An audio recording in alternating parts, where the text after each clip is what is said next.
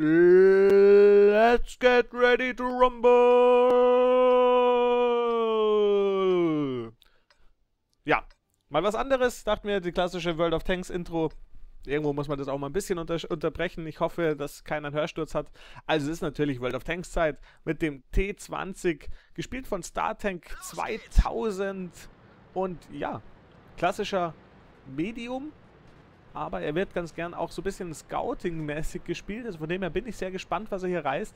Erlenberg als Karte und die Teams einigermaßen ausgeglichen. Also ich würde jetzt da keinen großen favorisieren der beiden.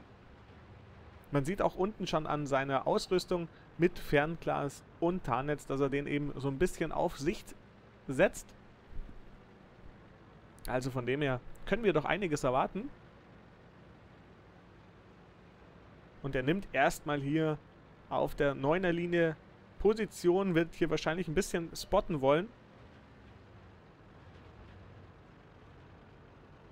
Für den Medium ist er auch einfach, ist er wirklich schön schnell, das kann man auch sagen, wie es ist. Man sieht ja, wo die eigenen Leute gerade hinten noch sind. Also da ist noch praktisch etwas, äh, eine kleine Lücke hat sich da aufgetan. So, jetzt geht er hier in Position und macht die Gegner auf. Dem Fall, nimmt auch den, ja genau. Ja, schön. Der trifft.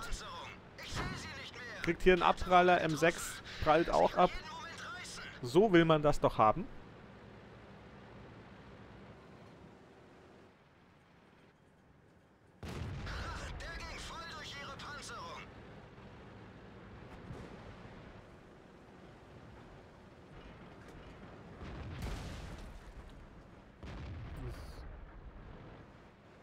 Jetzt kann er hier eine schöne Gun Depression, kann er mit gut arbeiten. Der KV3 kommt genauso, dass er ihn an die Frontplatte schießen kann oder auf die Frontplatte vielmehr. 0 zu 3. Wo, das geht dann aber schnell. So. Ja, da hat er sich gerade noch zurückgezogen, aber da kommt er wieder vor. KV85 hat eine potente Kanone, da muss er aufpassen.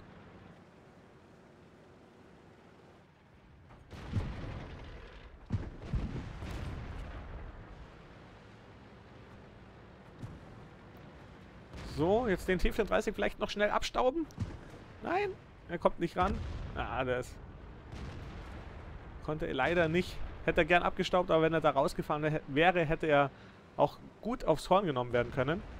So. Ah, ah ja, sehr gut. Ich wollte schon sagen, lässt das stehen, aber hat ihn angezündet. Perfekt. So, der M6, auch hier schöner Hit. Und jetzt nochmal, komm, nimm den auch noch. Nein, nein, kriegt er nicht. So, KV kommt raus. KV guckt Gott sei Dank nur auf den T3485.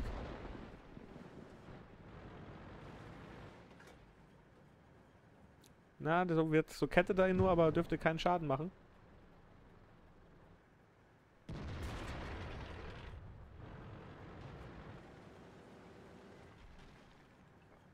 Da, da, jetzt, jetzt, jetzt, jetzt. Ja. Hat er sich perfekt gedreht und jetzt kann er ihn auch so weiter getrackt halten, ihm Schaden machen. Damit ist er direkt aus dem Spiel. Er kann nichts mehr machen, der KV-3, wenn er nicht kettet. Ja, da ist er weg. Jetzt der KV-13 da unten. Zack, komm rein. Nein, zu früh geschossen. Muss doch abstauben, Digga. 2100 Schaden gemacht. 6 zu 7. Uh, jetzt wird gekappt.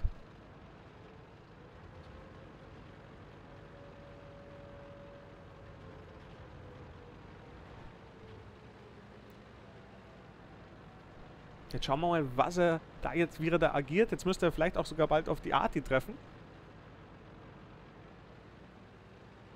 Könnte ich mir vorstellen, dass die irgendwo gleich aufgeht. Er bleibt hier mal stehen, lasst sein Scherenfernrohr anspringen. Nichts offen. Mit dem Cap braucht man hier sich jetzt nicht so zu beeilen. Man sieht es, man hat zwei Minuten. Hat er Zeit, also von dem her kein Stress. Arti geht aber leider immer noch nicht auf oder sonst ein anderer Gegner. So, jetzt fahren die beiden sich da in die Karren.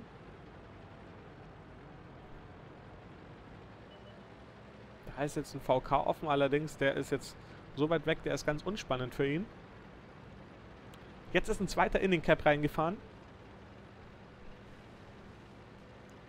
Oh, da ist die Su. Bam. Sehr schön. Auto-Aim, zack, weg.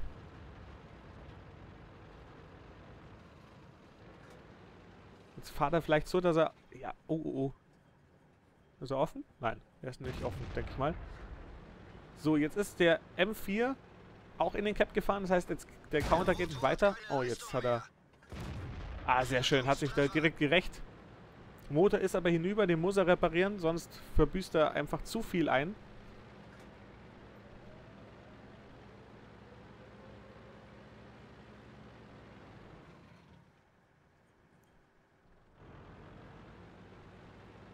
Sieben zu neun.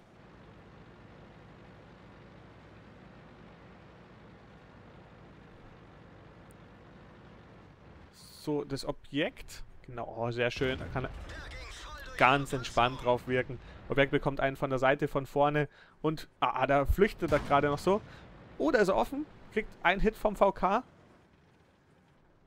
Aufs Objekt wird er so nicht kommen. Ich würde sagen, geh auf den M4. Sehr gut, er hört auf mich. 7 zu 9, 8 zu 9. Also es ist eine knappe Sache hier. Ja, der M4 wird hier rausgenommen. Da braucht er gar nichts großartig zu tun. Jetzt aber der 150er. Ja, leider nicht.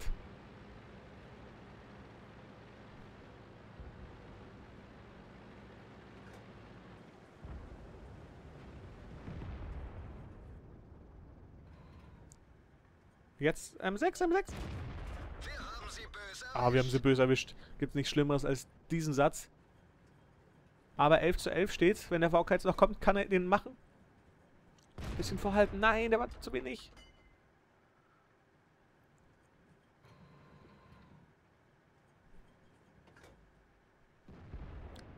So, IS-3 macht den VK dafür aber weg. Aber jetzt hat er hier die schöne Position, kann jetzt hier eigentlich wirklich gut snipen. Jetzt muss nur noch wieder einer nach vorne kommen oder zu weit zurückfahren. Beides machen sie aber nicht. Arti ist immer noch nicht gespottet gewesen, beziehungsweise zuletzt da unten. Aber sie lebt halt noch. Die letzten zwei Kampfpanzer sind hier vorne eben. Jetzt ist die Frage, fahrt er durch die Mitte an sie ran oder nimmt er den langen Weg und will sie hinterfahren? Aber die Hellcat fahrt schon weiter, deswegen wird die Entscheidung wahrscheinlich auf der Mitte liegen. Da ist die hier auch ab. So, Hellcat. Ja, Hellcat ist weg. Sehr schön. So, jetzt M6. Nachgeladen hat er.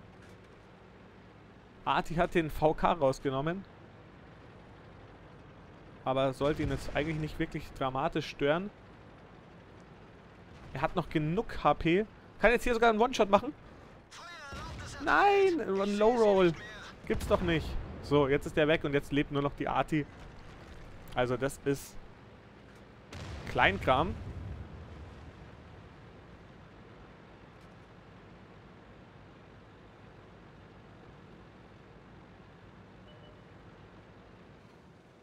So, dass die AT und der verschießt. Der schießt daneben.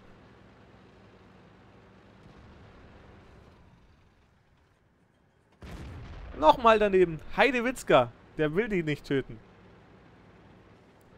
Arti aimt jetzt auf ihn. Arti verschießt. Oh, wie knapp. So, jetzt trifft er aber. Und der letzte Schuss und dann ist es auch um die Arte geschehen und den macht er ganz entspannt, ganz ruhig und unglaublich.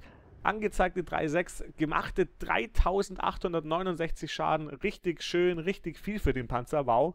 Von dem her, vielen Dank, StarTank, für das Replay und ich hoffe, euch hat es gefallen. Deswegen lasst mir doch einen Kommentar sehr gerne dazu da. Bis bald, euer Alcaramba.